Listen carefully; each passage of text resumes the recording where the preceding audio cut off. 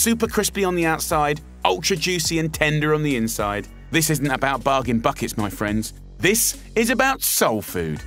Comes in three parts, ladies and gents. We've got the brining, we've got buttermilking and flouring. It's going to be incredible.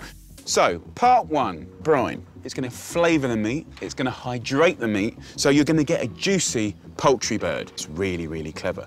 Use a handful of black peppercorns, a few sprigs of thyme, four fresh bay leaves, and four garlic cloves. Add 100 grams of salt and 100 grams of brown sugar. Finish with 400 mils of water. Give it all a stir and bring it to the boil. Then take it off the heat. Add another 400 millilitres of water in there. Let this fully cool down. Then go in with the chicken. Four free-range chicken drumsticks and four thighs. Keep the skin on and score right down to the bone. So in with the thighs and in with the drumsticks. So just cover that with some greaseproof paper or cling film it, whack it in the fridge, and I put it in there overnight, 12 hours minimum. And that's the beginning of the incredible flavour process. Now, it feels slightly firmer, it's hydrated, it's probably gained about 10%. Give it a little shake and straight into a Ziploc bag. Then guys, you're ready for stage two. Buttermilk, you can get it in all the supermarkets. It's kind of like a liquid yogurt and it's gonna help to flavour and tenderize this chicken.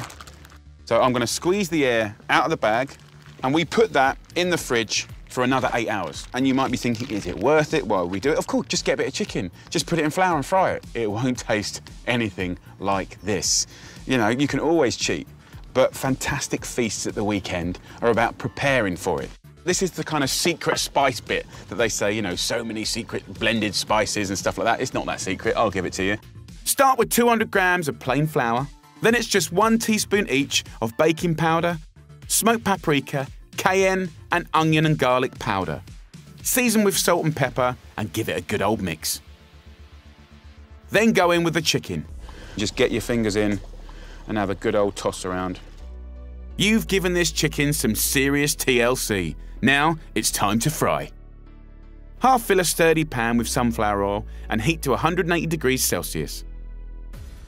Drumsticks first, slowly put them in, colour it up and get it crispy in the oil. As soon as it looks nice and golden and gorgeous, after about five minutes, put it in the tray. Do the same with the thighs. Grab a few sprigs of thyme, dip in some excess oil in the tray, and then sprinkle it all over the chicken. Whack this in the oven now at 170 degrees Celsius for about half an hour until the meat comes away from the bone and it will be gorgeous. Look at that. Incredible crispy chicken. I'm so excited.